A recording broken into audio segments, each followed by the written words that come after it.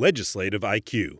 Increase your legislative intelligence with Florida's policy, budget, and campaign monitoring service. Subscribe today at legislativeiq.com.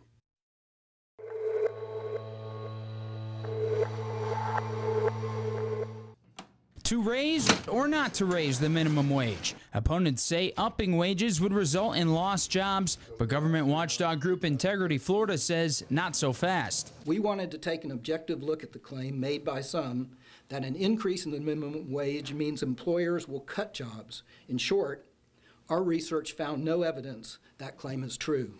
The group took federal Department of Labor statistics from every state in the country. The conclusion the states that upped pay fared better than those that didn't when it came to employment.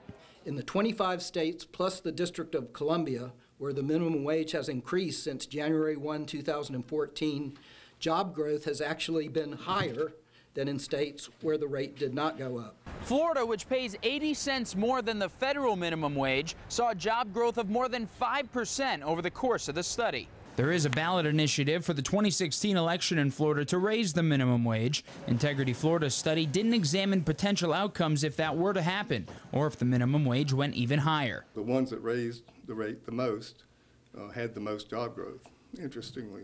Now, $15 or $13 or whatever, uh, you know, this report did not address.